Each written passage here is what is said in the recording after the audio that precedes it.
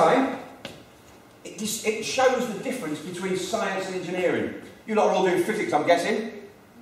Good. So you understand what science is and how science works.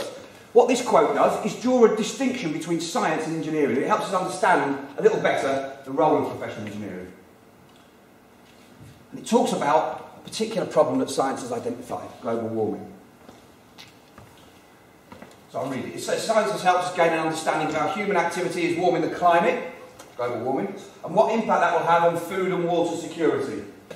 I'd probably add energy security into that as well. Um, and crucially, what needs to be done to slow or reverse the warming trend. So that's it.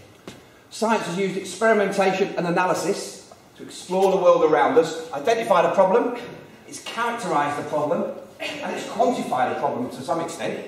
We've got a big problem, we urgently need to do something about it, otherwise the planet's going to go, it's going to finish.